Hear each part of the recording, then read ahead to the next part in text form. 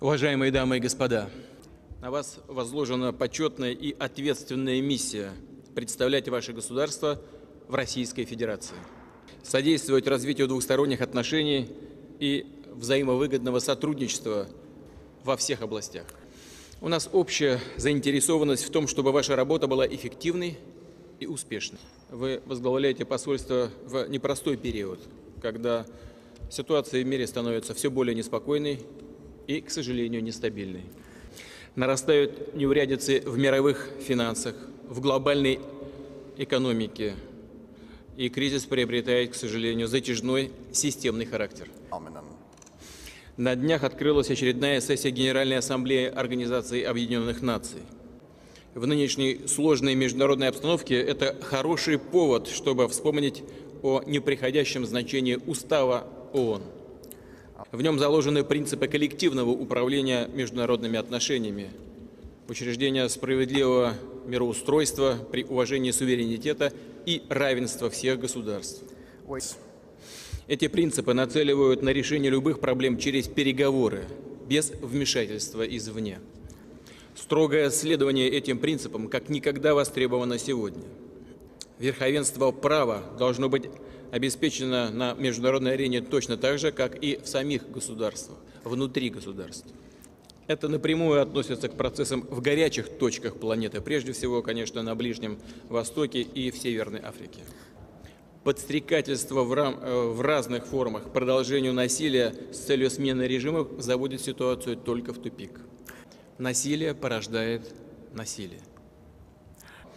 Выход видим в скоординированных действиях международного сообщества, нацеленных на мирное, политико-дипломатическое урегулирование кризисов, на побуждение противоборствующих сторон к прекращению вооруженного противостояния. Ценность человеческой жизни превыше всего, и она не должна быть разменной монетой в геополитической игре. Считаем необходимым наращивать совместные усилия по противодействию террористическим угрозам и экстремизму где бы то ни было – в Ливии, Ираке, Йемене, Сирии, Египте, Афганистане. Двойным стандартам здесь не может быть места. Террористам надо дать жесткий и единодушный отпор. При этом следует уважать культурные ценности и религиозные чувства любого народа. Вся история многонациональной и многоконфессиональной России свидетельствует о безальтернативности сохранения гражданского мира и согласия в обществе. Еще раз подчеркну, без опоры на международное право невозможно вести дела в современном мире.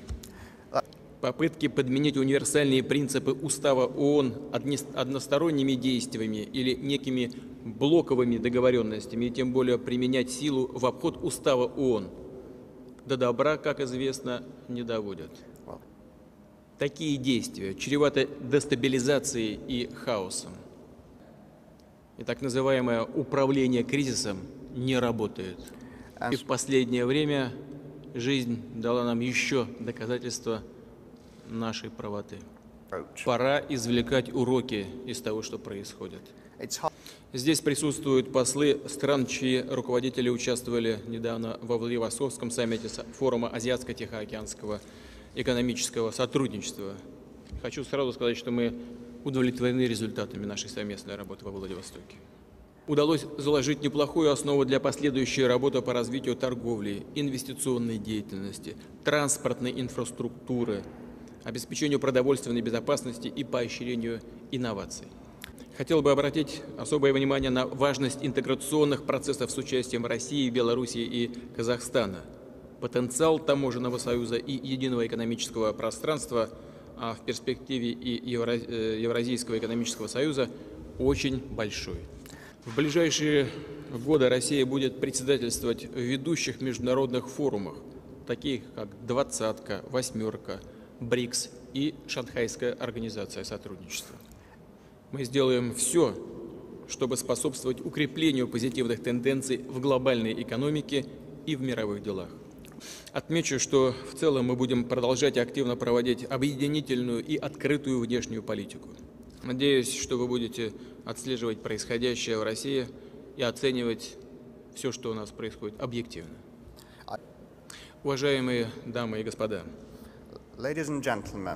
Мы высоко ценим взаимодействие с королевством Таиланд в основе которого искренняя дружба между нашими народами, богатый опыт торгово-экономического сотрудничества. Провели во Владивостоке полезную встречу с премьер-министром Чиноват, условились активизировать наши связи.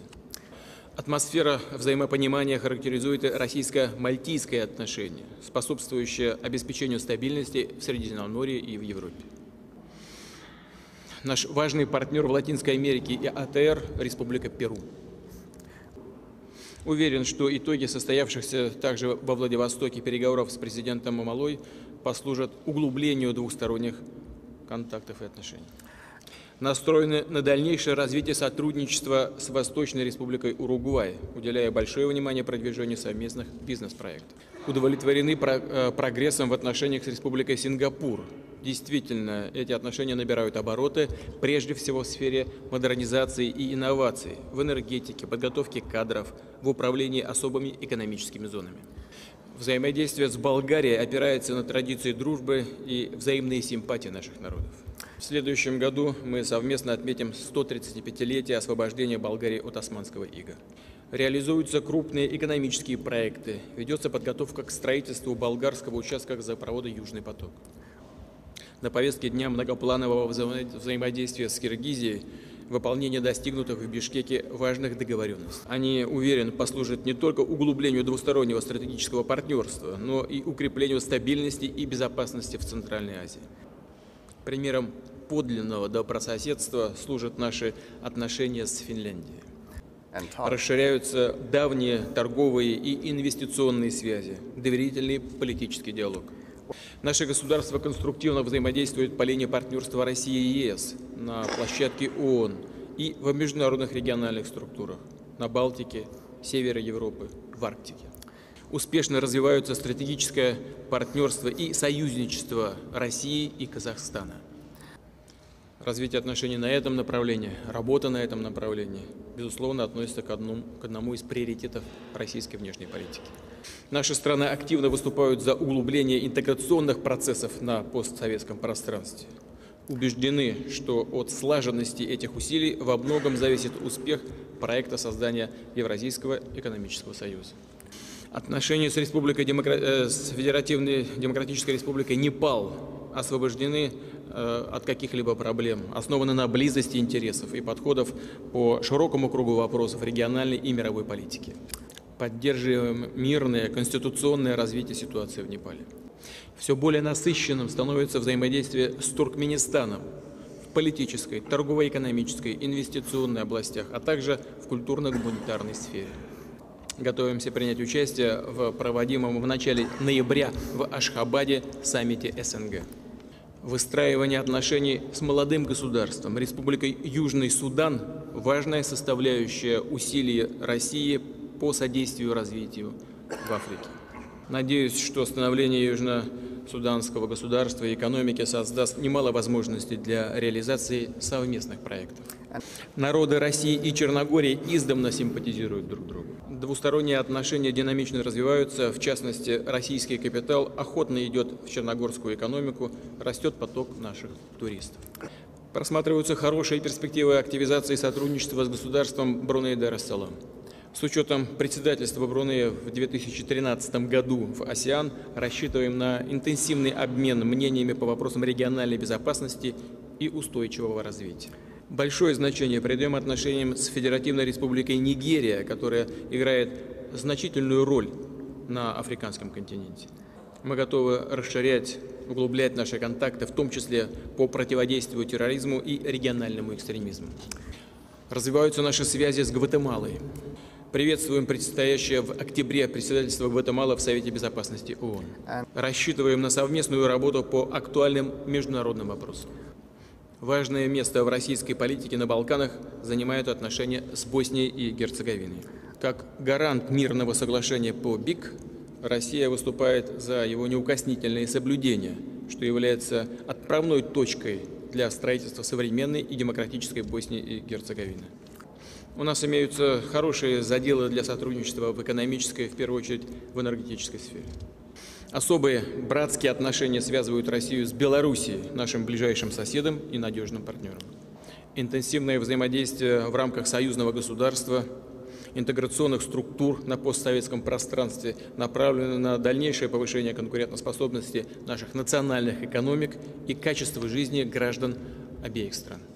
Готовы и дальше углублять разноплановые и доверительные контакты, диалог с Минском, вместе работать по международной повестке дня. Намерены развивать связи с Республикой Гондурас в интересах стабильности в Центральноамериканском регионе. В этом году исполнилось 40 лет со дня установления дипломатических отношений с Республикой Нигер. Уверен, что положительный опыт сотрудничества будет использован для нашего дальнейшего взаимодействия. Готовы и далее выстраивать двусторонние контакты с Буркина-Фасо в конструктивном, взаимовыгодном ключе. Приветствуем намерение этой страны открыть свое посольство в Москве. Уважаемые дамы и господа, вы представляете 21 страну, практически все континенты – Азию, Европу, Америку и Африку. Мы ценим и дорожим добрыми отношениями с каждой страной. Российские власти будут оказывать вам всяческую поддержку и содействие в вашей работе.